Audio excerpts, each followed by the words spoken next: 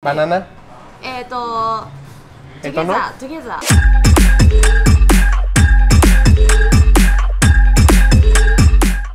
Los lugares más emblemáticos de Tokio y de Japón es el cruce de Shibuya que se encuentra en el distrito del mismo nombre, Shibuya, afuera de la estación de si adivinaste Shibuya. Así es, una de las cosas que tienes que hacer si vas a Tokio es ir a ver gente cruzar la calle y cruzarla tú también. Esa mamada que echan. Calmado, perro, que lo mismo dijo mi alumno Miguel. Aquí vamos, literal no me haces una calle. Ah, pero ya que estábamos ahí, tomas una foto. Ay, deja suba mi historia. Nomás cruzo una última vez y ya. Pero ahí andaba de hocicón, perro. El nada más es una calle, esta cosa se lo van grabando, ¿no? Pero bueno, ¿qué tiene de especial este cruce? Pues es el cruce peatonal más atascado del mundo. El semáforo se pone en rojo para todos los coches durante 47 segundos y la banda se deja venir como cuando un camión de cerveza se vuelca en la carretera. Dependiendo de la hora cruzan hasta 3000 panas al mismo tiempo y si eso le sumas los edificios y pantallas gigantes, pues te da como resultado una vista que te caga. Ve nomás estas tomas tan mamalonas que hice ahí. Ya que cruzaste 30 veces, te tomaste tus fotitos para Insta, grabaste tus TikToks, puedes entrar al Starbucks, que por cierto es uno de los más grandes del mundo, y chingarte un cafecito en el segundo piso mientras ves cómo cruza la gente.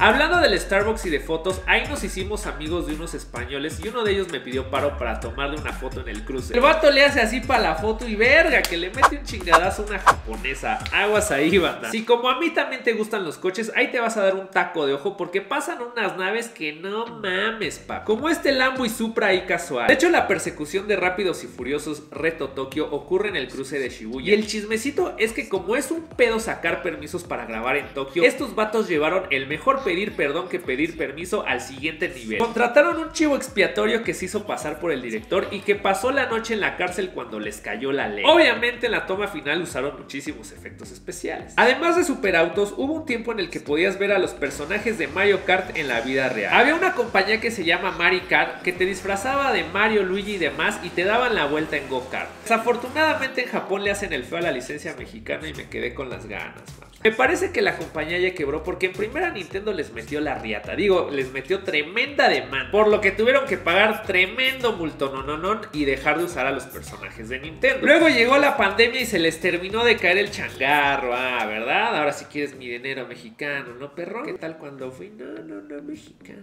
no, mexicano. Y hablando de disfraces, cada año en el cruce de Shibuya se realiza la fiesta más grande del mundo en Halloween. Más de un millón de personas le caen disfrazadas al cruce el 31 de octubre.